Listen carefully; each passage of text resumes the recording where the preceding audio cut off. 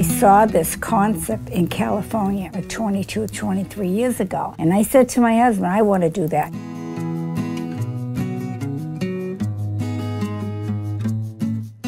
My name is Rosemary Ardagna, and I'm retired and I gave the business to my daughter. Um, we decided to open a paint your own pottery shop. I didn't know how it was going to take off, and my thought was that I would be having my regular girls that came to ceramic classes that I had at my home and I had in Somerville. Well, that isn't the way it worked.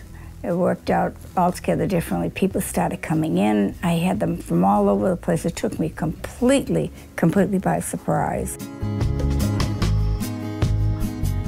My name's Lorraine Frigoletto, and I am um, the sole owner of Clay Dreams Paint Your Own Pottery here in Arlington.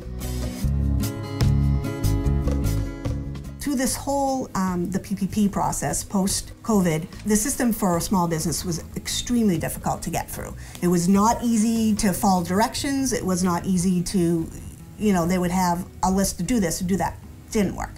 So called Rich and I'm like, I need some help here. What, what do I do? And he said, these are the steps you need to take, Lorraine. So it started on a Tuesday and by Thursday I had my money. During the pandemic, it's been very rewarding helping small businesses uh, do, you know, do everything they can, everything we can to help them fight through the pandemic. You know, hearing the statistics of you know how many businesses are struggling or closing we have the ability to you know to, to help these businesses fight and you know try to help them promote and, and market themselves it's it, it's been very rewarding seeing you know a story like clay dreams have to pivot and be able to you know really really succeed through this time with with the assistance of bank help but one thing I have to say about Cambridge Savings Bank, I don't know what I would have done without Rich. I have no idea.